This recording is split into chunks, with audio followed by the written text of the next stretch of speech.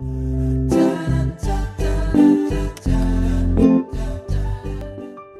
viewers welcome back to channel facts around you வழக்கம் போல பல பேருக்கு தெரியாது சில பேருக்கு கூட தெரிஞ்ச ஒரு ஃபேக்டர் இன்னைக்கு நம்ம பார்க்க போறோம். இந்த வீடியோ பார்க்கறதுக்கு முன்னாடி நீங்கள் சேனல் சப்ஸ்கிரைப் பண்ணால் சப்ஸ்கிரைப் பண்ணுங்க. கூட இருக்க பெல் ஐக்கன் கிளிக் பண்ணி ஆல் கொடுத்துக்கோங்க. அப்போ தான் நான் போஸ்ட் பண்ணுற ஒவ்வொரு வீடியோ உங்களுக்கு நோட்டிஃபிகேஷன் வரும் அதை நீங்கள் தவறாக மிஸ் பண்ணாமல் பார்க்கலாம்.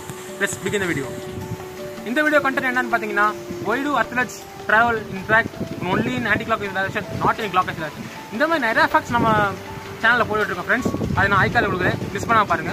ஓகே நம்ம கண்டென்ட்குள்ள போவோம்.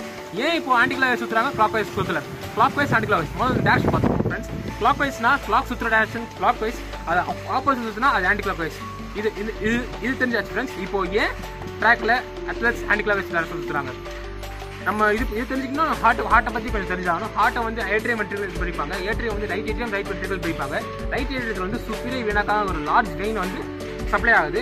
சப்ளை ஆகுது நத்திங் பட் டிஆக்சிஜன் கட்ட உடம்புல இருந்து நம்ம ரைட் ஏரியத்து ரைட் எடுத்து கொண்டு வருது. டிஆக்சிஜன் பிளட்னா ஒன்றும் இல்லை.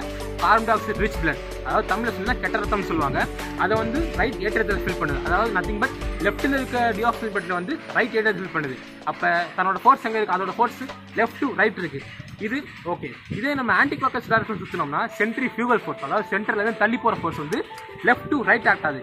இந்த இதுவும் அதாவது ஆன்டி கிளாக்கஸ் டைரக்ஷன் சுற்றும் போது சென்ட்ரிபிகல் ஃபோர்ஸும் லெஃப்ட் டு ரைட் அதே மாதிரி நம்ம ரைட் இடத்துல ஃபில் பண்ணுற சுப்ரீ வினாக்காவோட சக்ஷன் ஃபோர்ஸும் லெஃப்ட் டு ரைட் இது ரெண்டும் சப்போர்ட்டிவாக இருக்கனால நம்ம ஹார்ட் வந்து ரொம்ப எஃபிஷியண்டாக பம்ப் பண்ண முடியும். இந்த எஃபிஷியண்டாக பம்ப் பண்ணுறதுனால நம்ம நமக்கு வந்து அவ்வளோவா இழப்போ அவ்வளோவா ப்ரீத்திங் டிஃபிகல்ட்டியே வராது. இதே நம்ம கிளாக் வைஸ் டேரக்ஷன் சுற்றினோம்னா அதோட சுப்ரீ வினாக்காவோட டேரக்ஷன் லெஃப்ட் டு ரைட் ஆனால் இதோடது ரைட் டு லெஃப்ட் இருக்கும். அதாவது ஆப்போசிட்டாக இருக்குது ஆப்போசிட்டாக இருக்கனால ஹார்ட் ஃப்ளோ வந்து கண்டிப்பாக பாதிக்கும். அதனால ஏன்ஷியன் டேஸ்லேருந்து எப்பயுமே ட்ராக்ல வந்து லெஃப்ட் ரைட்டாக சுற்றுவாங்க அதாவது லெஃப்ட் ரைட் தான் அதோட centrifugal force nothing but leftwards தான் டேர்ன் இருக்கும். இப்போ நம்ம சுற்றுறோம்னா லெஃப்ட் வேர்ட்ஸ் அதாவது ட்ராக்ல வந்து எல்லா அத்லட்ஸும் லெஃப்ட் வேர்ட்ஸ் தான் டேர்ன் எடுப்பாங்க தவிர rightwards turn leftwards turn எடுக்கும்போது தான் அதான் anti clock direction leftwards turn எடுக்கும்போது சென்ட்ரி ஃபியூகல் ஃபோர்ஸ் வந்து லெஃப்ட் டு ரைட் ஆக்ட் ஆகும்.